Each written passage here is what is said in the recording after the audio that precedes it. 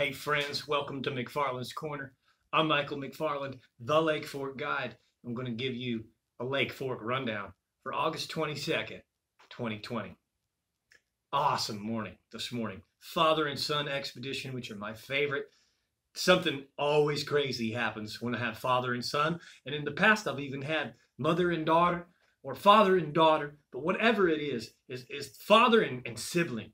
Um, magical things happen. It could be just an eagle dives and catches a fish and we get to witness it firsthand. But most of the time, it's a big fish that comes aboard the boat. And today, it was two of them. Um, Dad today brings home two giant Lake Fork beautiful beasts. Um, one caught on the Santone football jig, and the other caught on something new that we're going to tell you about. It's not a new bait, but it's it's new. We haven't been fishing with it for a little while. So before we get into that, Here's the rundown for Saturday, August 22nd. Water temperatures. Crack of dawn, main lake, subsurface, the first 18 inches, okay? Main body, mid lake, 84 degrees. Even down south by the dam, 84 degrees. When I come off the water about 11 a.m., it was 84.6. Way cool for August, all right? Um, man, that should be 88, 89. In the morning on launch, 87, 88. So we're much cooler. Um, Fish are still scattered, fish are still shallow and deep. A little bit of both. Visibility, one foot visibility in most of the main lake and south. You start getting up in the arms, the more north you go, the more brown the water does turn. You'll start to see some of the methane and gas bubbles that are rising when the cool nights cool the surface. Cooler water gets heavy. That heavy water sinks through the water column breaks any thermocline and allows all that dead debris to rise from the bottom. It floats on top. It's methane gases mostly, but it's it's death. It's it's decay from the bottom. Okay, that's why it messes up our boats. It's the only time of year we got to wipe our boats down. Go up in there and in, in the northern ends and you start to lose the visibility and the water starts to turn brown. Still can catch fish in it. They are okay. No oxygen issues at this time. Lake level, 401.51. That's one and a half foot below full pool. Another really rarity for this time of year. Um, we can be as much as two or three feet below pool. We're not dropping very fast. Um, from one day, yesterday, 401.54 to today, 401.51. It's not that much. Um, that's only about you know two or three inches in the course of 24 hours. It's a little faster. Uh, I'm sorry, not two or three inches. Um, not even two thirds of an inch, not even two thirds of an inch in 24 hours.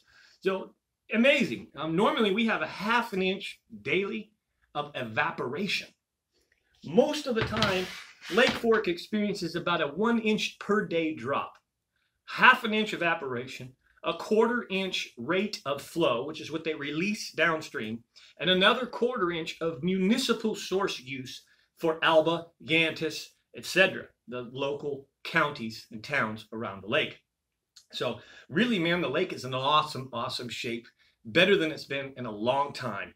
All right. Don't for a second buy in to that it's dead.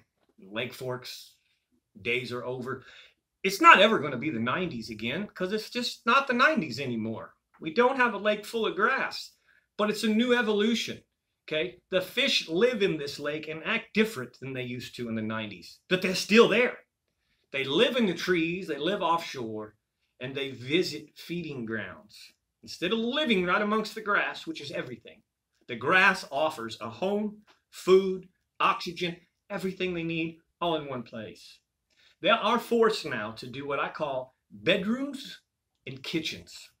The bedrooms are the wood, the trees where they can go live, like in your fish tank. The fish go somewhere to hide out in the rocks and in the stuff. So they hide and live amongst the trees. Sometimes they can feed in those trees. The food uh, is with them around them or gets blown into them.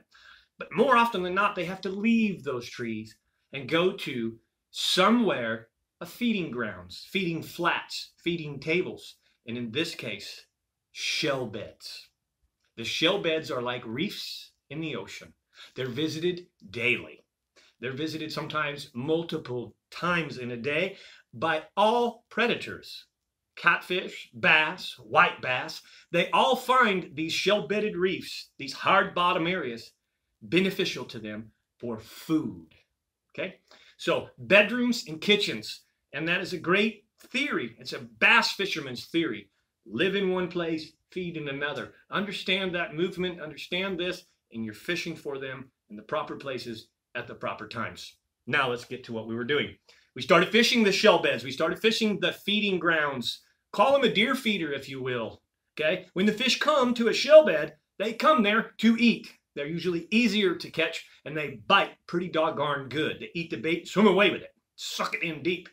Okay? Football jig today was the deal. No fish today were caught. I'm sorry, I caught one fish today on the Santone stand-up shaky head with the Magnum trick worm. But it was the football jig. The three-quarter ounce Santone football jig, JC Spicy Craw, with the green pumpkin lobster trail. Okay, that trailer right there is a four-inch trailer, whereas the regular is a smaller trailer. All right, I love that four-inch trailer because it makes a great big profile. I'm not going to tell you that big baits always catch big fish because I eat two pounders that eat that too. Um, but that bigger profile tends to catch the bigger bite. Okay, and it certainly did today. All right, the other bait is when they are in the trees, the bedroom, if you will. And by the way, I want to show you that. It's called Rage Craw, Strike King Rage Craw Lobster. Rage Craw, Rage Craw Lobster. Okay, I use them both. The next deal is when those fish get in those trees, they're suspending in the trees. Sometimes they just literally lay on the limbs. They belly rest on the limbs of the trees. It's their home. It's the bedroom. They can be caught. Typically, I like to go to a Texas rig, something weedless, because I'm going to throw past the tree, over the top of the tree, and I'm going to bring the bait through the tree itself. Now, I'm talking about deep submerged trees, okay? The average depth of these shell beds that we're catching them in is about 14 to 18. The average depth of these trees can be out in 30 or 40 or 50 feet of water. Talking about a big full oak tree that comes up to 20 feet. It's in 50 feet, but the tree's 30 foot tall. Okay, so now the tops of these trees 20 feet deep. All right, and the fish are living in the tops of those trees. A Texas rig goes through those trees real easy. Okay, it goes through with less hang up and less issue.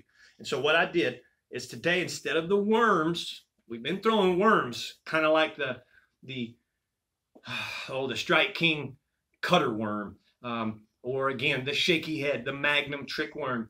Um, when I go to uh, the Texas rig, I'll even use the ribbon tails like the power worm, etc. Well, the, today the fish were kind of subtle, and so I went to very simple V&M chopstick in Texas smoke, and baby, that was the answer. In the trees, 10 to 14 feet of water, believe it or not. Some of the fish were 14 to 8, but Texas smoke V&M chopstick. I throw this on my signature MB 7 foot 3 1020. Okay, this is a reaction rod. It's a it's a worming rod, but it's very powerful. It's a four power. It's got a lot of tip, and it handles the big fish just fine. Okay, I use 15 pound fluorocarbon line, a quarter ounce tungsten and or lead, doesn't matter. Peg it, five odd regular offset hook. Okay, and remember that when you hook up one of these V&Ms, look at it closely because there's a seam line on the worm. Most of the time where that seam line is, the worm will kind of banana. I want to make sure the hook is on the bottom side of the banana. So when it falls, it undulates more. Okay, so I want the banana part of the worm, the hook to be embedded on the underneath side of that banana side of the worm. Okay, makes for a better action, gets a bit more. Again, we're throwing that in those deep submerged trees you got to fish it slow. Basically, my best recommendation is you actually fish it fast until you feel the contact of the wood and the trees and you slow down. All right. I tell my clients, I'm looking for a reason to stop. So keep pulling it until you feel it contact something and then slow down. Let it marinate, let it soak in that tree. V&M chopstick, Texas smoke, Texas rigged in the trees. Getting it done right here on the Goat Lake. Awesome times, folks. Sure appreciate you all watching. I appreciate the thumbs up. I very much appreciate the comments. Um, listen, I've got a lot of dates open in September. If you want to come fish September and October, hit me up. It's going to actually turn the tables here and fill up real fast. As of right now, I got a lot of openings. I have Saturday, the 29th August. Okay, that's a week from today. Next week is open. Somebody hit me up and booked that at least for a half a day. Fishing's great. We had two seven pounders in the boat this morning. How about that? So, guys, appreciate you very much. I'm Michael McFarland, the Lake Fork Guide, giving you a Lake Fork rundown. Thanks for watching.